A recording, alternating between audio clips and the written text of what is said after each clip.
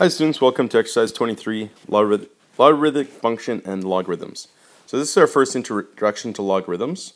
Uh, what we need to understand is what they come from and what their use is. So the logarithmic function is the inverse of the exponential function. Okay, so the exponential function is y equals b to the power of x, so base to the power of variable x, right? And what the log function is, is the inverse of that. So if I was to switch the x and y, you get the inverse function. Okay, and that comes back from what we did at the beginning of the year. So now, notice that the y value is now an exponent. And we always write an, an equation, y equals. So when we write a function, we write y equals to something. Okay, so in order to lower this y back down, we use the logarithm function. So what we do is we take the log of both sides, basically. We'll talk about that later. But you end up getting this function. So this function here and that function are equal to each other. So this and this are the same. This is in terms of y, and this would be obviously in terms of x. So in terms of y, you get log base b. So notice the b here. So log base b of x, where we call b the base of the log. So notice that this is subscript. Okay, so it's log base subscript x. Um, we call y the logarithm, so y is the logarithm. Um, often we call that the answer as well. I'll probably mention that a few times, or equal to. And then x is the argument. Okay, so we call the value inside the log here the argument. Okay, well let's take a look at the graph of y equals 2 to the power of x and its inverse. So y equals 2 to the power of x, we've sketched that before, right? We're going to pass by the point 0, 1, got a point here, and the point 1, 2, and we have the exponential function here. So it goes up, and we have the asymptote right here, right? Okay, so that's our exponential function. Now the inverse, right? The inverse here, so I didn't want to scratch it out. So the inverse um, is, well, you flip all the x and y values, if you remember that. So the point 0, 1 becomes the point 1, 0. The point 2, 1, 2 becomes the point 2, 1. And the graph we get, we got this point, we got this point. And notice that if we switch all the x and y values, this y equals 0 asymptote becomes x equals 0 asymptote. So the asymptote's here, and you get this function. Again, it's a perfect reflection of the y equals x line. Okay, so this is the inverse of this function. We call this inverse function the log function. So this would be log equals, sorry, y equals the log base 2 of x. So that's the graph of this function. So again, this is the inverse of your exponential 2 to the power of x. Okay, so here we have an expression uh, in terms of m and n uh, of an exponential function. I'd like to describe this function in the logarithmic form. Okay, so if you remember, I'm just going to rewrite what we wrote earlier. We'd have, we had um, x equals to b to exponent y, right? Okay, so that's kind of the shape we have here. And we turned this expression here into um, y equals to log base b of x. So that's what we're going to do to this. This is an exponential function that represents this, and I want to turn it into that. So notice the n becomes our value. n equals, this is our log, and then you have log base b, so base 4 of m. So it doesn't look like a 4. Clean that up. So that's that. Okay, simple as that. So if I want to change this into a log function, you take the base, that stays the same. The n, the exponent becomes the equals to, right? That's that the value, we call that the log, and m is your argument. Okay, so same idea, except this time I'm giving you the log expression. I want to turn that into exponential form. So notice your 2 is your base. So 2 is your base. The 3 is the exponent or uh, equals 2, same thing.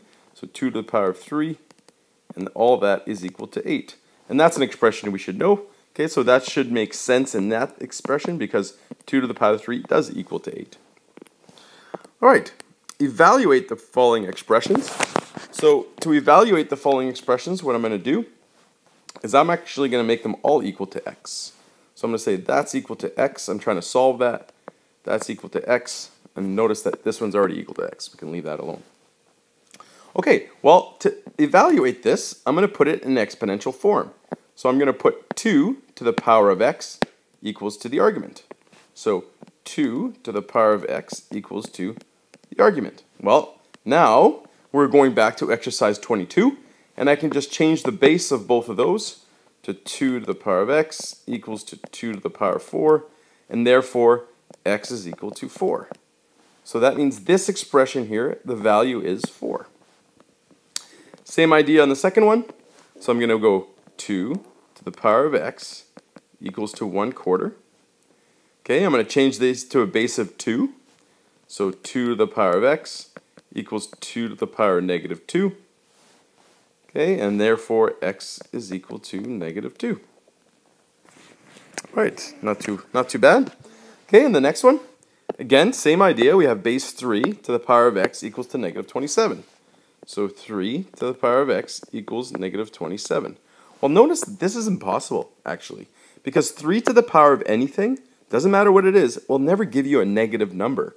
Even if you have a negative exponent, it just means it's 1 over 3 to the power of whatever. So this is impossible. So there is no solution. You cannot evaluate here.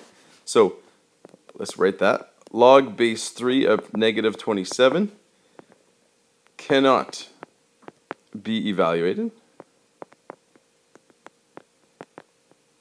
And do I have a little note here? There we go. But let's get to the note. This is the reasoning why this cannot be. Therefore, we can say that if we have a log base b a equals c, there's a, first, a couple restrictions here. The base, okay, the base, we're always going to have a base that's positive because in the exp exponential function, you always want the base to be positive. So b's got to be larger than 0. The argument, the value here, since we have base to the power of something, will always give you a positive value.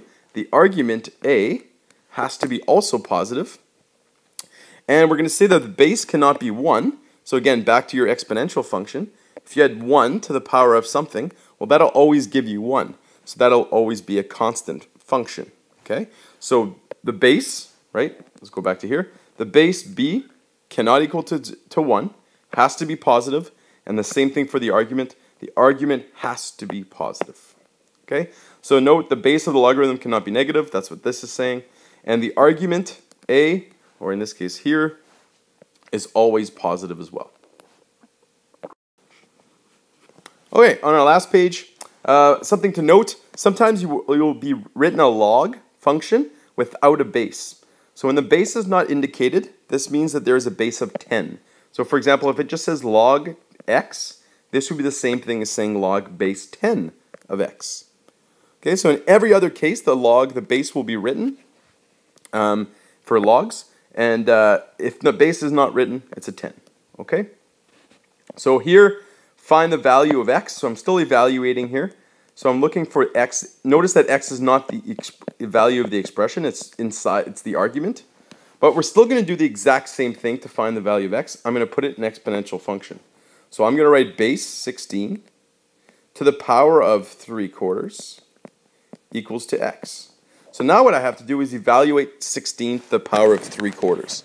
So this is going back to grade, I think 10 pre-cal, um, where you have to change the base to get rid of that exponent. So what I'm going to do, I'm going to break it apart into two pieces, this exponent. I'm going to make it a power of 3 and a power of 1 quarter and do one thing at a time. And I'm in general, you can always do the quarter the the fraction first and then the numerator. So the denominator before the numerator. So I'm going to write it as 16 to the power of 1 quarter, all that to the power of 3. Okay, so notice that 3 times 1 quarter gives you 3 quarters. So I haven't changed anything. And now what you can do is you can actually perform 16 to the power of 1 quarter. Because the fourth root of 16 is 2. Because 2 times 2 times 2 times 2 is 16. So the fourth root of 16 is 2. So you have 2 to the power of 3 equals to x, and obviously that is 8. So here, log base 16 of 8 is equal to 3 quarters. So the argument is 8. All right, over here. So now I have, I want to find again the value of the log, but notice that there's two functions. So we're going to start inside first. So I'm going to first evaluate log base 3 of 81. So I'm going to start with, okay, well we need to know what the log base 3 of 81 is. And I'm going to make that equal to y. So I'm going to, I'm going to find the value of this expression first. And we're going to go 3 to the power of y equals 81. I know 3 to the power of y equals 3 to the power of 4, and therefore y equals to 4. Perfect. So I've found that the value of this is 4. So I'm going to plug this value in here, and what I'm going to get is log base 2 of 4 equals to x. And I'm going to start over, and now say exponential, 2 to the power of x equals to 4, and therefore x is equal to 2. I think you guys can see that 4 is 2 to the power of 2, therefore x equals to 2. Okay, so that's the value of this expression. So log base 2 of log base 3 of 81 is 2. All right, last part, estimate the following values. So now I, these aren't values that are exact, okay, but they're really close to values that we could figure out. So for example, log base 2 of 30 Again, we're going to make this equal to x, so I'm going to find a value of x. Okay. Well, I know that 2 to the power of 4 gives me 16. Correct? And I also know 2 to the power of 5 gives me 32. And don't forget, you go 2 to the power of x equals 30. Okay, so 2 base exponent equals to argument. Okay, so I know that 2 to the power of, hmm, let's say 4.9 equals approximately 30. So it'll be really close to 5, right? Because if 2 to the power of 5 is 32, 2 to the power of 4.9-ish is 30. So we can therefore say x is approximately equal to eh, 4.9. Right? So I'm saying that this is approximately equal to 4.9. That's an estimation. Okay, same thing here. Notice that there is no base given here, which means it's a base of 10. So again, I'm going to make this equal to x just to make it a little easier to write it down. I know that 10 to the power of 1 is 10. 10 to the power of 2 is 100. So 10 to the power of x, um, no, I'm not going to write x, sorry. I'm going to write 10 to the power of what gives me 20. So 10 to the power of what gives me approximately 20? Well, I hope you're saying 1.1 or 1.2 in that range. 1.1 I'd accept obviously as well. I think those are both good estimations. So therefore, x is approximately equals to, sorry that didn't come out very approximative. So approximately equal to 1.2. All right, last one. I hope you guys can see the pattern. So it's 5 to the power of what gives me 120? Well, I know that 5 to the power of 3 gives me 125. So I know that it'll be a little less than 3 because 5 to the power of 2 point something will give you me 120. So I'm going to approximate this as about 2.9 because it's a little less than 3. All right, guys, that's it for uh, 23. Uh, good luck, and we'll see each other in class.